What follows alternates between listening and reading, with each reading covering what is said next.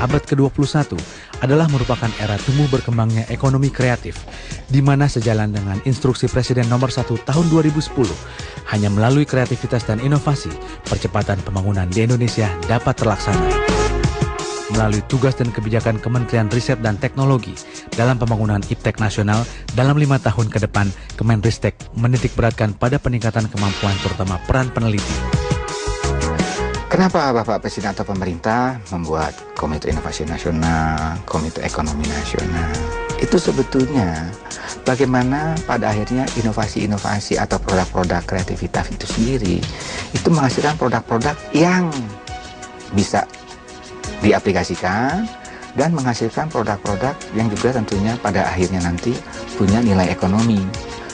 Kalau kita bicara sistem inovasi daerah, sebetulnya sama dalam skala-skala yang lebih lokal. Misalnya, dalam skala regional yang kita lakukan Pak Menteri launching pada bulan lalu, misalnya di Sumatera Selatan.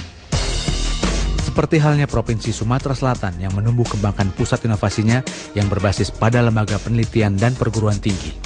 Dalam meningkatkan nilai tambah dan produktivitas sektor ekonomi berkelanjutan, keseriusan Pemda tingkat satu dalam membentuk badan intermediasi, yakni dengan sistem inovasi daerah atau SIDA.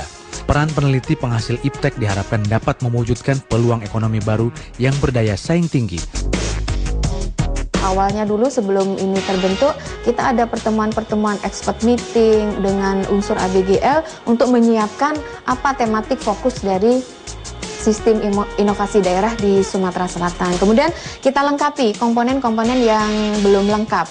Misalnya ada unsur penunjang yang sangat penting inkubator teknologi. Kita bangun inkubator teknologinya. Di sana bisa menyiapkan atau menginkubasi teknologi-teknologi supaya dia siap untuk dideliver ke dunia industri. Jadi kalau hasil penelitian dari lembaga litbang itu belum proven untuk industri, maka dia masuk dulu di inkubasi di inkubator teknologinya Balitbangda. Di situ kita godok, kita datangkan pakar-pakarnya, bagaimana supaya ini sudah langsung bisa dijadikan industri. Tim SIDA Provinsi Sumatera Selatan telah menetapkan inovasi tematiknya seperti lingkup pertanian, pangan, industri kreatif, kesehatan dan obat, serta energi. Dan melalui potensi sumber daya alam, khususnya bidang perkebunan seperti karet, kelapa sawit, kopi dan kelapa, Salah satu produksinya yakni karet diharapkan dapat menjadi pemicu bagi produk lainnya.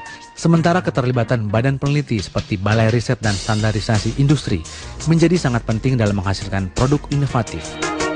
Jadi yang akan kita kembangkan terutama yang berkaitan dengan uh, sumber daya alam yang ada di Sumatera Selatan yang potensial, yaitu karet.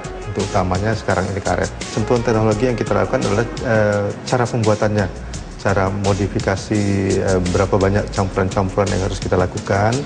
Jadi ada ini kita kita lakukan penelitian dahulu, lalu kita sebarkan untuk masyarakat. Contohnya yang sudah kita laksanakan adalah pembuatan souvenir dari latex. Jadi itu sudah kita lakukan uh, teknologinya di Baristan Industri Palembang sendiri dan itu kita sudah sebarkan ke masyarakat seperti melalui penciptaan pada industri kreatif berbahan dasar karet untuk keperluan cindera mata yang dikelola oleh Balit Bangda. Hasil kreasi dimaksud sekaligus untuk mensukseskan Sumsel sebagai tempat pelaksanaan SEA Games ke-17 tahun 2011. Berkat bimbingan dari Balit Bangda dengan Baristan dan didamping oleh anak-anak mahasiswa dari Unsri, kita mengadakan pelatihan selama satu bulan. Alhamdulillah selama satu bulan itu hasilnya cukup lumayan. Masalah pencetak terus mengaduk bahan baku. Kita sudah dipelajari dari Baristan dan Balit Bangda. Jalan menuju ekonomi berbasis ilmu pengetahuan dan masuk di dalam tatanan era inovasi tidaklah mudah.